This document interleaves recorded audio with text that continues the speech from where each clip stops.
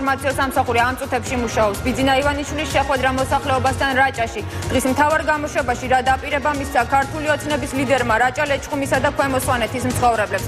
სახალხო ხელისუფლებამ მცირე ჰესები გიგანტურის ნაცვლად ხვანჭკარა, რომელიც რაჭველების სიმდიდრის წყარო უნდა იყოს და დაპირება ხვამლისმთის საფუძვლიანი არქეოლოგიური გამოკვლევის შესახებ. 9 საათზე ასევე რა განცხადებები გააკეთა სააკაშვილთან მიმართებაში დღეს ბიძინა ივანიშვილმა.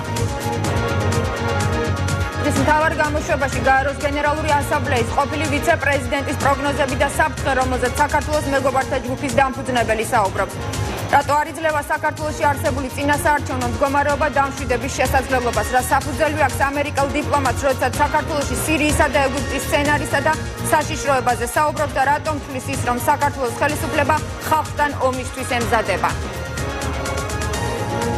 მოქმედებს თუ არა აუდიტის სამსახური ორმაგი სტანდარტით, როდესაც ოპოზიციის წარმომადგენლებს შეწირული 1000 ლარის გამო რამდენიმე საათიან დაკითხვებს უწყობს, ხოლო მართველი პარტიის შემომწირულების 60000-იან გადარიცხვებზე კითხვები არ უჩნდება.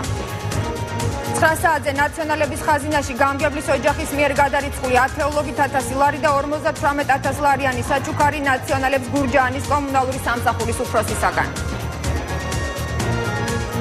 დღესვე 9-ზე ჟინვალში მომხდარი მკვლელობის დეტალები 41 წლის რწმუნებული ცხედარი ტყეშია ნაპოვნი. მას 4 ჭრილობა ნაგანით აქვს მიყენებული ცხედრის აღმოჩენიდან საათ ნახევარში პოლიციას მოკლულის მეგობარი ჩაბარდა.